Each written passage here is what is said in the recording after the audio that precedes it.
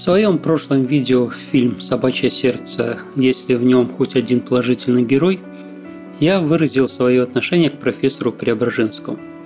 Отношение мое к нему в общем и целом отрицательное. Но разве только мне не нравится доктор, набивающий свой карман за счет богатых бездельников? Сами персонажи «Собачьего сердца» относятся к нему не с восторгом, кроме, пожалуй, прислуги и барменталя, которые зависят от профессора. Это бесподобно. Вспомните, что говорил пес, когда его еще не превратили в человека. Классный деляга и похабная квартирка. Жил товарищи, сказали откровение. Вас следовало бы арестовать. Да и сам Петр Александрович, высокое должностное лицо и покровитель профессора, если бы не необходимость операции, наверняка бы дал ход доносу на Преображенского – Сцена, где профессор вызывает бурные овации от коллег-ученых, Бортко выдумал. В романе ее нет, и знаменитая фраза Барментали «Без реторты Фауста создан гомункул» была написана в дневнике ассистента профессора карандашом. Выступление Барментали на научном обществе – выдумка режиссера Бортко.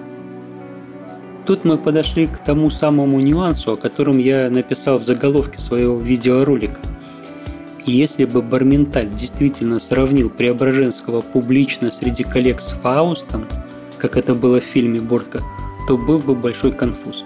Почему?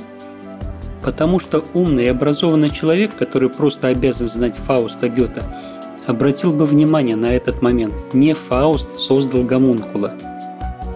Так неужели Булгаков допустил ошибку? Нет и еще раз нет. Допустив явную ошибку, писатель знал, что неучи пропустят это и не поймут насмешки над Преображенским. Фауст тоже был доктором, и доктором-неудачником. Он не сумел ничего в жизни сделать. Фауст всю жизнь тяготился своим отцом, врачом, который убивал одних, чтобы спасти других. Поэтому сравнивать Преображенского с Фаустом – это все равно, что публично позорить ученого. А кто создал гомункула? Гомункула создал ученик Фауста Вагнер, кабинетный ученый, для которого наука была нужна ради самой науки. Открытие гомункула произошло после вмешательства Мефистофеля.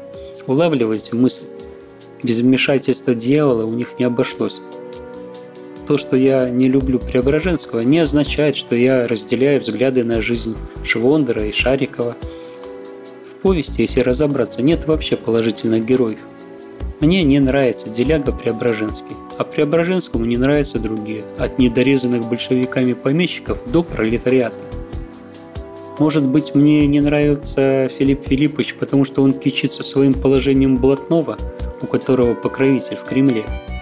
Может быть, за то, что он, ругая советскую власть, с нею сотрудничает, как и некоторые современные деятели культуры и бизнесмены. Да мало ли еще почему. Кому-то нравятся жареные мозги, как Преображенскому, а кому-то нет. О чем спорить? О вкусах не спорят.